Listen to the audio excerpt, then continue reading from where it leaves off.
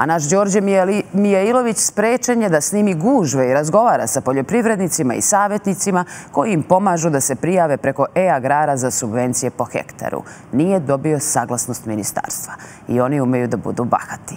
A pre dva dana počelo je podnošenje zahteva za subvencije koje će trajati do 31. maja. 6000 dinara po hektaru obradivog zemljišta i 3000 dinara regresa za gorivo. Čeka one koji uspeju da popune online upitnik. Kako to rade mačvanski poljoprivrednici, pitao je Đorđe Mijailović. E-agrar. Sve brzo, lako i jednostavno. Iz udobne fotelje poljoprivrednici završavaju preko smartfona. Ili to baš i nije tako. Ogromne gužve, tehnološka nepismenost starijih poljoprivrednika i zastoj servera. Sve to u proleće kada poljoprivrednici ne znaju gde će od posla. 236.000 poljoprivrednih gazdinstava je registrovano evo sa ovim e, jutrom danas, e, što mislim da je izuzetno dobar broj. Mislim da pokazujemo da je agrar može da se sprovede i u tako kratkom roku. Ako me pitate da li ima problema, ima. Ako me pitate da li ima gužve ima, to je tako normalno, ali ako me pitate da li pomažemo našim poljoprivrednim gazdinstvima, ja još nisam čula da je neko rekao da nije naišao na pomoć kod poljoprivredne stručne službe. Krajem februara počela je registracija poljoprivrednika na novi sistem e-agrar. Tada su zabeležene ogromne gužve, a sav teret pao je na poljoprivredne stručne i savjetodavne službe. Tad smo zabeležili sledeći razgovor. Sad ste vi spremni, prijavljeni ste na e-upravu šta ćete od sad raditi, sad je dovoljno samo da uvek ponesete ličnu kartu i ovaj, ovaj papir, dođete kod nas i sve što se tiče vašeg gazdinstva i subvencija, vi ćete kod nas moći da završite, bez ikakvih problema. I kako ćete sad sa tehnologijom, kako se snalazite? Nekako moramo i neko pomoći, ja znam da nazovem i da se javimo, baš da ga tako baš listam, nisam naučit ću. Naučiti mora, jer od petka kada je raspisan javni poziv za subvencije po hektaru od 6000 dinara, jedini način za prijavljivanje je preko e-agrara. Za manje od tri dana za postica je prijavilo se više od 40.000 poljoprivrednika.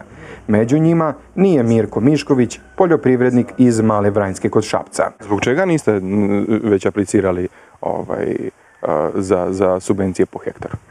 Pa u suštini prvo zbog obima posla nema se ni vremena, jedna stvar, druga stvar, ovaj, nešto baš i ne verujemo i novim tehnologijama pa da vidimo kako će sve to da funkcioniše, kako će da se odvijaju stvari pa ćemo ovako. Jedna stvar mi nikako nije jasna zašto je to čekano ako se već znalo da treba da se uradi, zašto se nije krenulo sa tim mnogo ranije. E, odjednom sada kampanjski, ne znam, ja mart mesec, april, kad ljudi imaju posla, ne znam gdje će od posla i od obaveza, sve ovo mogu lepo zimu polako, blagovremeno da se radi, nego odjednom sad kampanjski daje ovo, daje ono.